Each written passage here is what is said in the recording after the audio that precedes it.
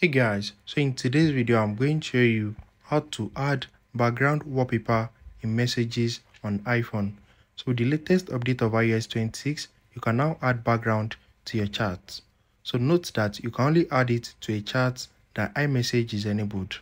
So like this one as you can see imessage is enabled.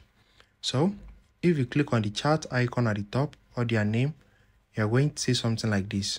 So you are going to see background so click on background and you're going to see different options. So you can pick from this suggested background and you can also add a photo from your gallery. So if you click on photo right here, you can pick photo from your gallery. So let's pick this one. And now it will now be added as our background.